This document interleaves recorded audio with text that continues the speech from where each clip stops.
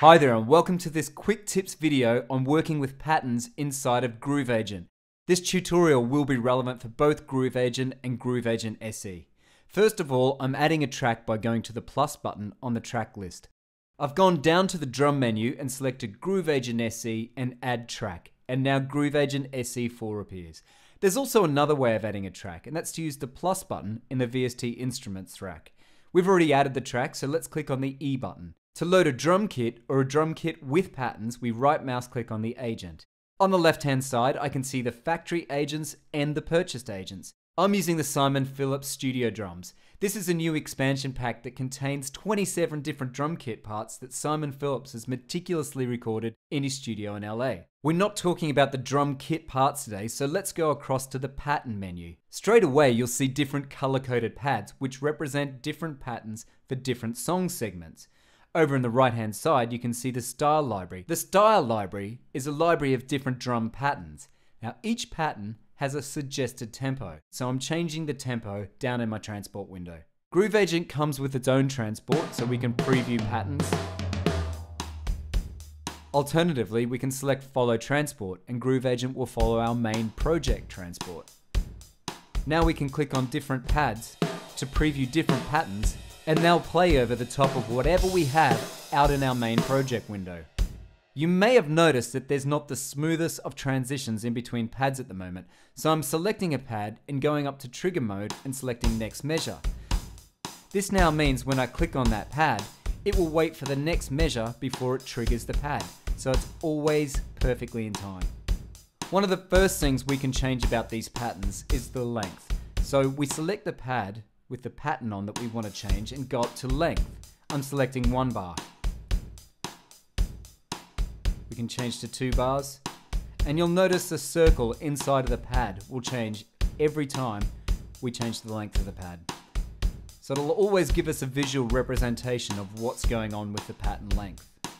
Currently we're only playing full patterns by pressing play in our project window or by holding down with our mouse on one of the pads. Pressing once will only play the first note of the pattern.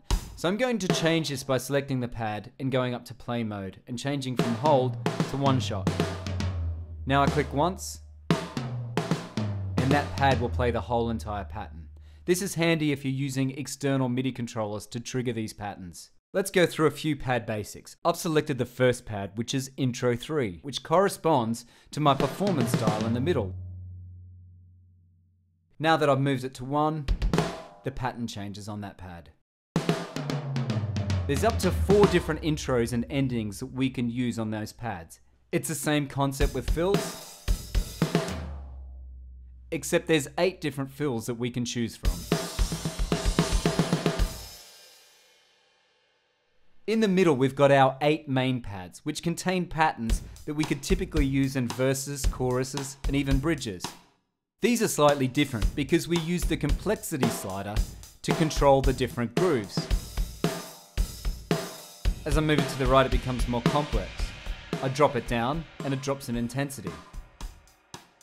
There's 12 different pattern combinations that we can assign to any one of those 8 main pads.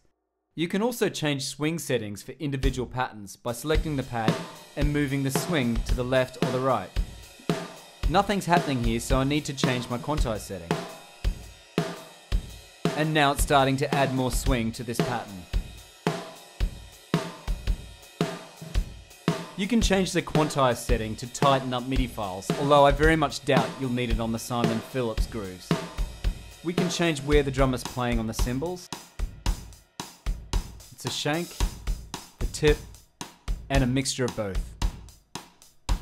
We can do the same with the ride cymbal. So there's the bell, no bell, back to the bell. We can even define when the crash cymbal's been used. I'm turning it off for this pad.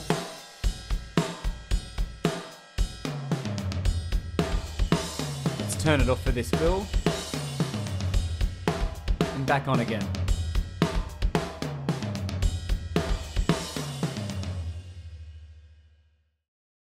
That's a neat overview of what you can do with patterns that come included with a drum kit.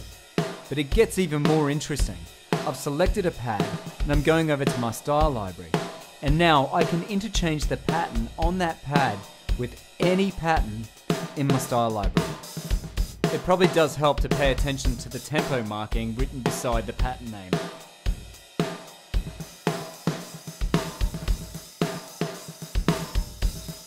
When you find something you like, you can go back to the main window and again work with those 12 different levels of complexity. I've selected another pad and I've gone across to the MIDI menu. Now I can access a number of different MIDI files. A number of these MIDI files relate directly to different song segments, so once again it's a great songwriting tool.